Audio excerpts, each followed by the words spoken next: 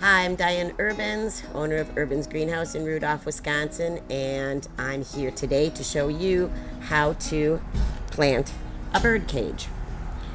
We have our bird cage here.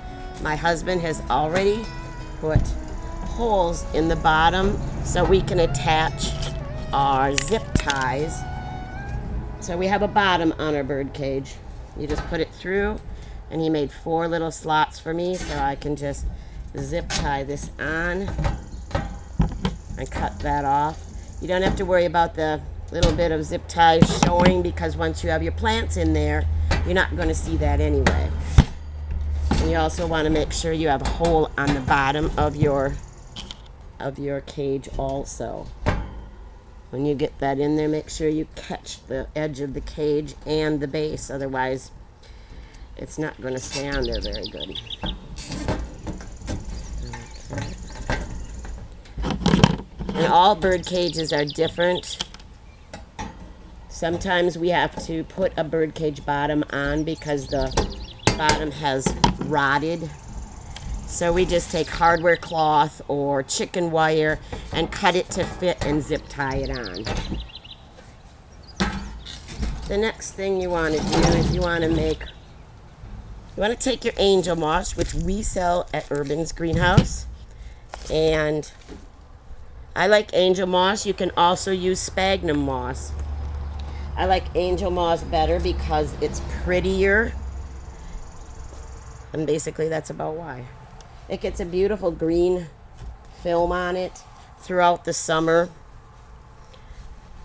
And you just take any opening you have in your bird cage. Some bird cages openings are smaller, some are larger.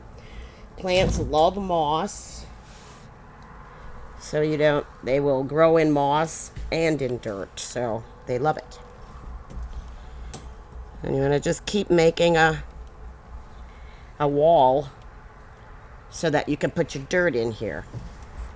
Takes a little bit of time. You want to wet this moss. This moss is, that's this amount when it gets hydrated. So you want to put it in a bowl and let it hydrate so that it's wet to use when it's more damp. Mm-hmm. When you get so much in, then you'll start putting your dirt in the center or your soil mix. And you want to use a loose soil mix, not anything too heavy. Usually a good potting soil is all you need. And then you put that in there. Push it up against the side. Takes a little bit of time to do it, but it's absolutely beautiful when it's done. When you're looking for plants to plant in your bird cage, you want to make sure that you get plants that are not too much work. Like if you need to disbud them. I've put verbena in them and they have, verbena is beautiful in a bird cage. But if you can't get at that plant to take off the old blossoms, it's kind of a pain in the rump. So you want to make sure you have easy plants with no disbudding.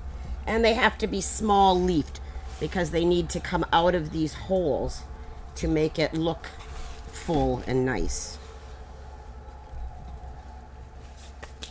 And you can go up as far as you want with your bird cage sides. This is kind of a taller cage, so I'm going to just go up and I'm going to make one more level. And that way you can get more plants in there also.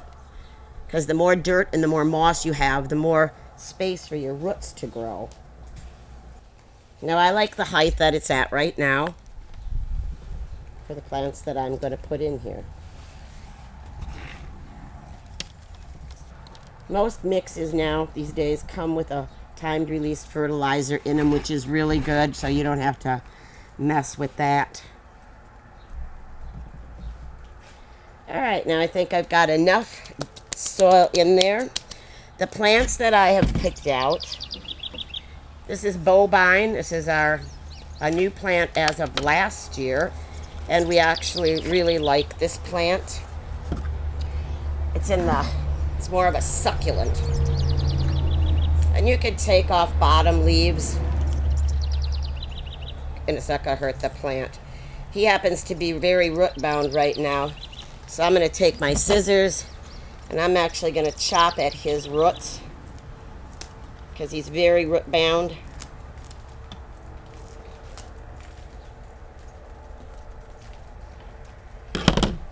And pick at it a little bit just to loosen that up. It helps them to be able to um, spread out. And we have to put it up here.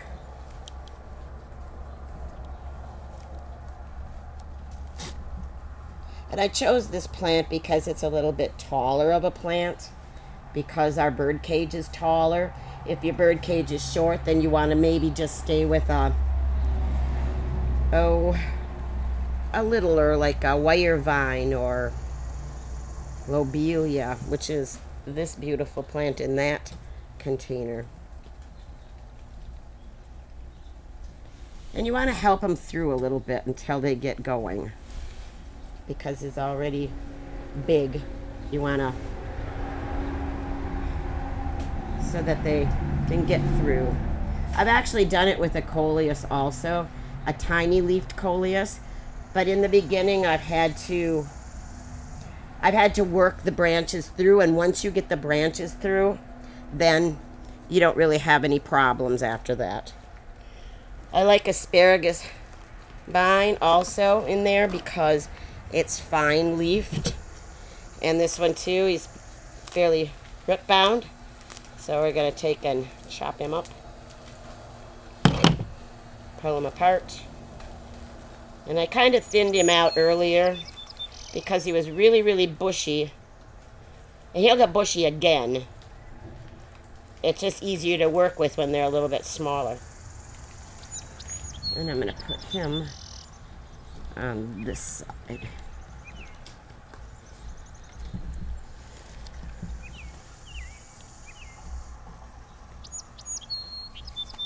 And see how I'm pulling that through the cage to get it started.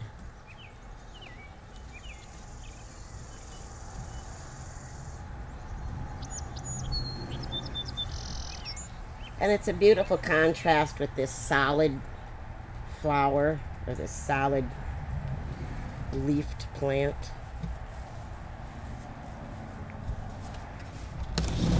And for the final plant, I picked out a vine because I want to hang this one. If you don't want to hang it, if you're just going to set it somewhere, you don't necessarily need a vine, but I like having vines so that it can cascade down. And I have started to cut off some of this vine for the fact that it's long and it's harder to weave in there and it will grow back again. Trimming annuals is is healthy for the plant.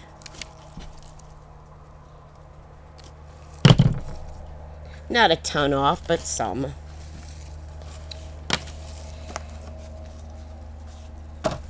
Now this, you wanna rip up his root a little bit.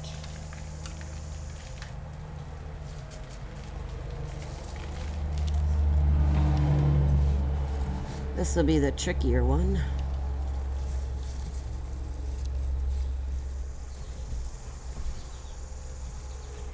Get them in place, and then gently try pulling the vine through.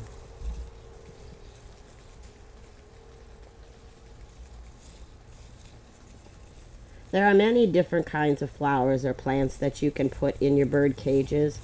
We've also put perennials. Like this bird cage over here has sedums, and that's about four years old now. We put them in an unheated garage for the winter, and then we bring them back out in April, end of April. Hydrate them very well because you don't water them in the winter time. And they just fluff right back up. Annuals like I'm putting in this cage it will just be a one year thing, a one summer thing. Some people like the idea that they can keep their cage. Some people want to redo it every year.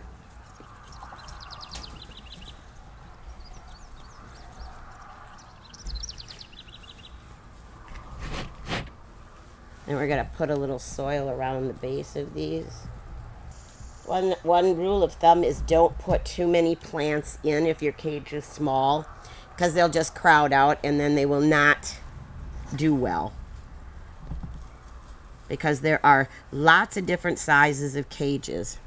Now this one I'm going to put a chain on. There's a three-pronged chain and I'm going to hang it either from a tree in my backyard or a shepherd's hook, something on that, depending on the spot that you have for it. Some people have to put them in, if it's a shady spot, then you want to go with something that's more shady. This one's going to be going in the sun. Uh, final thoughts on our bird cage. We want to always make sure and water with a good fertilizer, um, Miracle-Gro, because it's very important for root growth, root stimulation, when you've transplanted these and you've kind of taken that root and mangled it a little bit. Um, it just helps the roots grow better. And as you can see, there's many, many different sizes of bird cages that we've done over the years. You can go from big to even really, really tiny ones. For more information on our bird cages, you can go to our website, urbansgreenhouse.com, or you can go to our Facebook page and see classes and workshops that we've done with the bird cages and see other people's. Um, it's a lot of fun, and we're here to walk you through it if you need extra help.